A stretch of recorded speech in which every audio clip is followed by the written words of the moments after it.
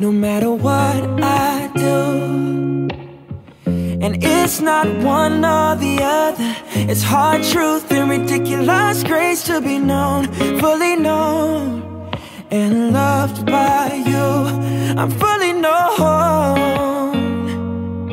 and loved by you.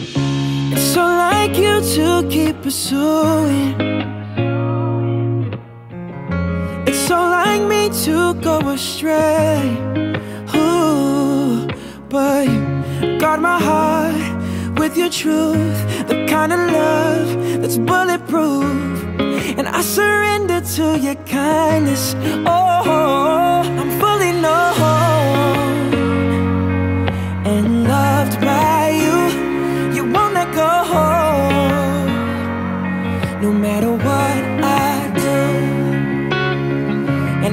not one or the other.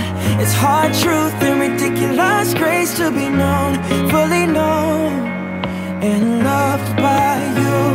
I'm fully known.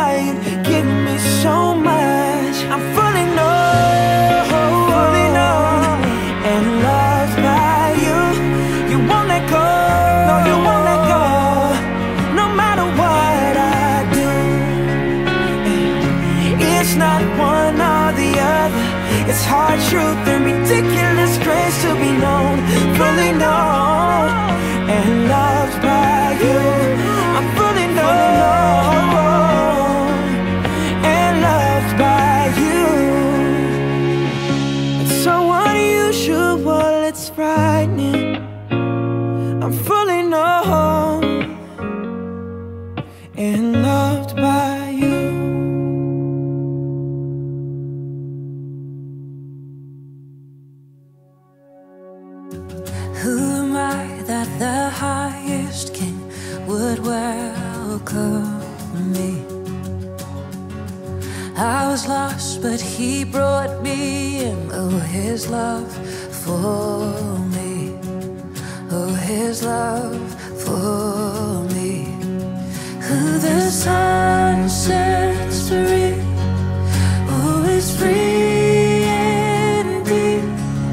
I'm a child of God. Yes, I am. Realized He has ransomed me. His grace runs deep. While I was a slave to sin, Jesus died.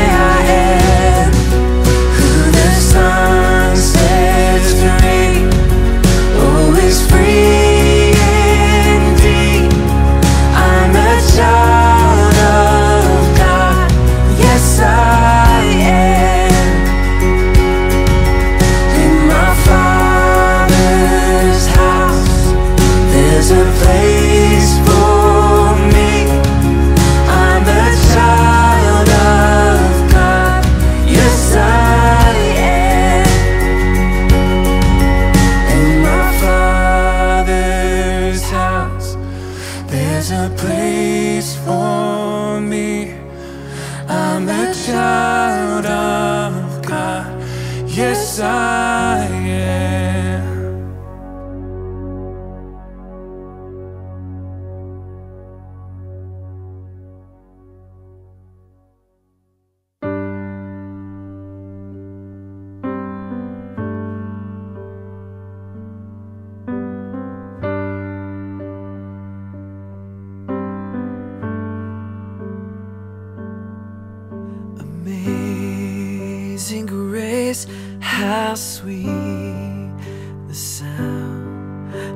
saved a wretch like me. I once was lost, but now I'm found. Was blind, but now I see. Twas grace that taught my heart and grace my fears relieved. How precious did that grace appear the hour I first believed my chains are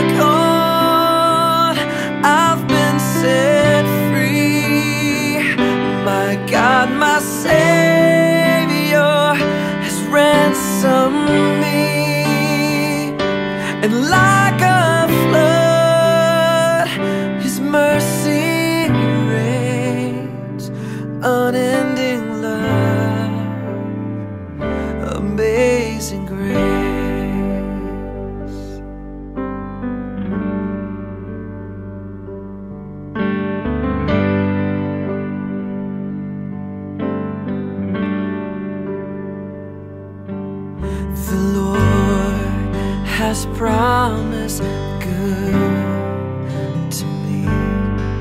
His word, my hope secures.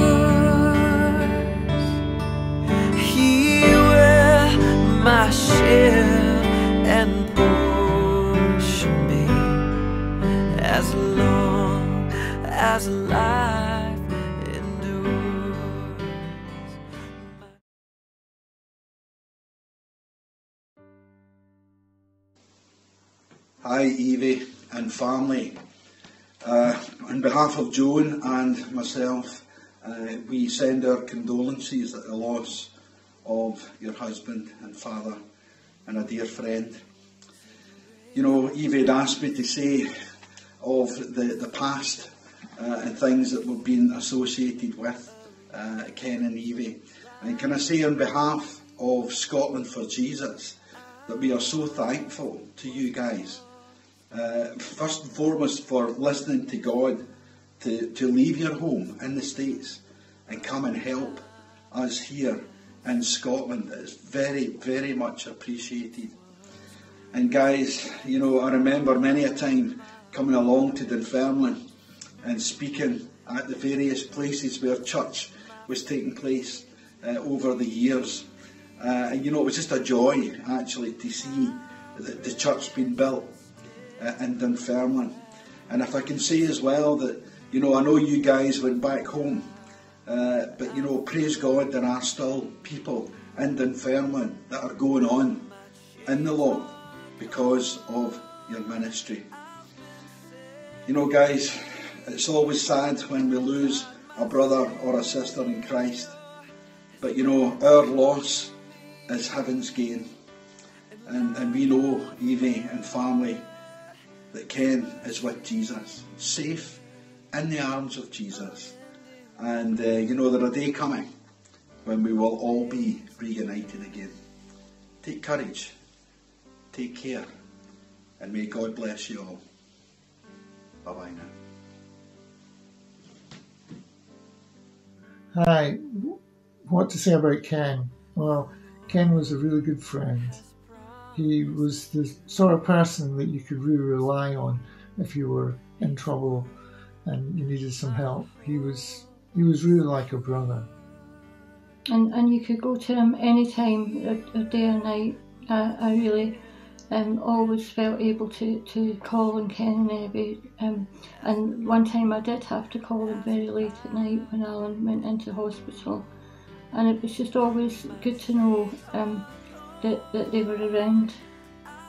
Yeah, we, we came to Bible studies in their house and uh, Ken did a Bible survey and I really found it really very, very useful and, and, uh, and enlightening.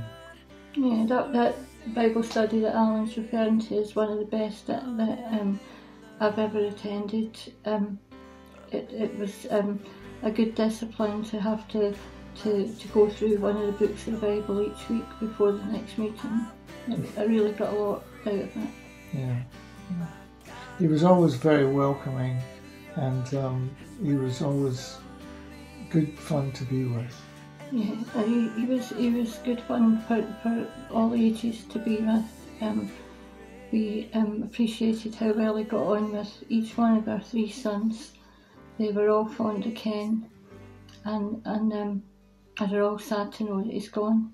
And um, he was he was very hospitable, always there to, to greet you um, with a big smile, and always always at the door to give you a big hug on your way out.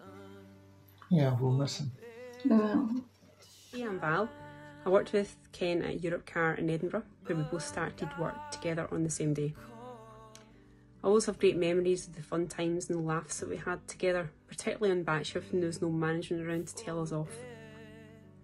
Ken has such a caring nature and always welcomed me with that big cheery grin, which I'll never forget.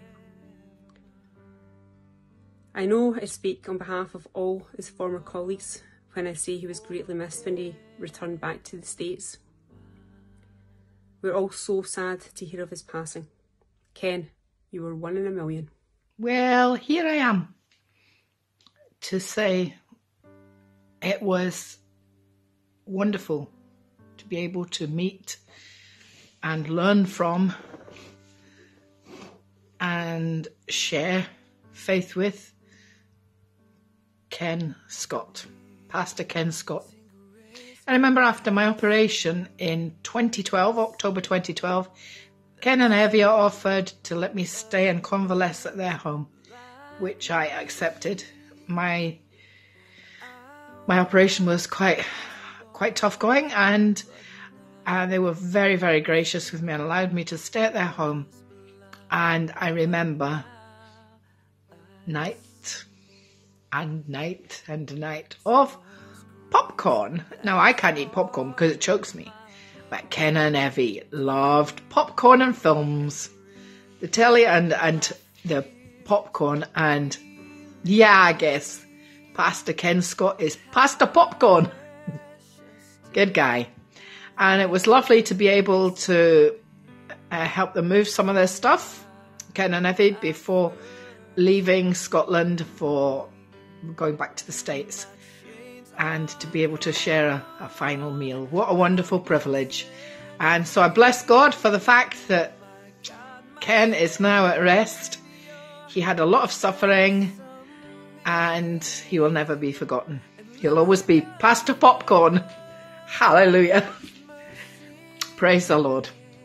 Blessings on Ev and the family, Evie and the family. Blessings. Bye. From Scotland. Bye bye. My memories of Ken are that he was a true man of God. His uh, main aim was to teach people about Jesus and teach them God's word, and he was a fantastic Bible teacher. Taught me so much, and one of the things that um, always helps me, that Ken taught me, was that if God doesn't want anything to ha- something to happen to me, it won't, and that actually um, helps me when I'm feeling anxious about something. That, and I think um, something's going on. Um, I've got an illness or whatever.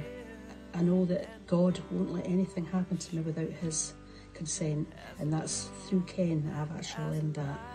Um, the other thing about Ken was um, how much he loves his family, and um, his congregation, and he really, really um, wanted his congregation um, to learn about um, God to learn about the Bible. It was so important to him. And he'll be missed by many. Well, I knew Ken from church, um, and uh, he was the pastor of Calvary in Dunfermline in Scotland, and uh, I found his church on the internet not long after I got saved. I didn't get saved in a church, um, but I stumbled across Calvary Chapel teachings, and uh, from there I stumbled across Calvary Chapel in Dunfermline. Um, and when I went, uh, the very first day, Ken and Evie invited me for lunch, and uh, we became friends straight away. Um, Ken was a great Bible teacher, uh, one of the best I've ever heard, and uh, he made a huge impact in my life. Um, uh, one of the things about Ken was he always had loads of time for you. Uh, never ever rushed you. Uh, he stopped what he's doing uh, to stop and listen to you if you had to talk to him about something. He'd always be there for you. Um, and uh, he also really lived out what he taught. Uh, I mean, to the letter, you know, he he would always give you what the Bible what the Bible told you to do in a certain situation. He wouldn't give you his opinion. He'd tell you, "Well, this is what Paul says in such and such a book," um, and uh, uh, he also he also worked for a living, uh, not just um, doing pastoral duties, but he went out and he had a day job, a, a tough day job. Um, he, he earned a living um, and he he really earned a lot of respect, I think, in Scotland amongst the Scottish people by doing that, that good work ethic. Um, and yeah, it was really made a big impact on me. In fact, he discipled me, uh, and um, I think I wouldn't be anywhere near uh, where I am or where I have been in my walk with God if it hadn't been for, for Ken discipling me. So uh, I, I hope he's he's happy now because he always used to joke with me that he said, if I ever fall over or have a heart attack or something, do not resuscitate me. so uh, I'm sure he's in bliss just now and I, I can't wait to meet him again. Well, I know that I've been married to you uh, for a year and a half, and previously before that, I've known you for another year and a half, and I know that um, you've told me many stories about many things, but Ken's name would come up all the time. All the time, you know, Ken said this, Ken taught me that, he taught me how to do this, and you know, when you speak about him, Ken, you've always got like a, a big smile on your face, and I, you know, he's obviously had a huge impact on your life. Um, so it's amazing, it really is amazing. So, um, Yeah, he's a great man, great man of God and, and just a great guy altogether. looking forward to meeting him. Hi Evie, um, got your message. Um, so wish that I could be there right now with you and meet that wonderful family of yours. I love the Facebook posts. Um, what can I say about Ken? Um, he always had an absolutely amazing smile and made you feel so welcome. Um, his teaching yeah, his teaching was definitely the best teaching that I've had. Um, he explained things in a way that I could understand them. Especially um, the book of Ephesians, which I really needed at a very low time in my life. And I'm really grateful for that. I'm grateful for his teaching. I'm grateful for his faithfulness. And I'm glad that you both flew over and you were here when I really, really needed you. And I just really wish that I could be there right now and be there for you. But I am in prayer and I'm wrapping my arms around you and giving a great big hug. I miss you so much and I love you very much. Um, and while Ken's partying up there and enjoying himself, we'll see him again. We'll see him again one day. No more pain, no more suffering. That'll be a good day. It will be a good day. Love you. See you soon. Well, uh, greetings from the Kingdom of Fife. Uh, Simon here from Scotland. How are you doing? Um, I just thought I would share um, a couple of short uh, memories. I mean, there's so many, so many to choose from. Um, what can be said about Ken Scott that hasn't already been said? Probably, um, probably nothing. Um,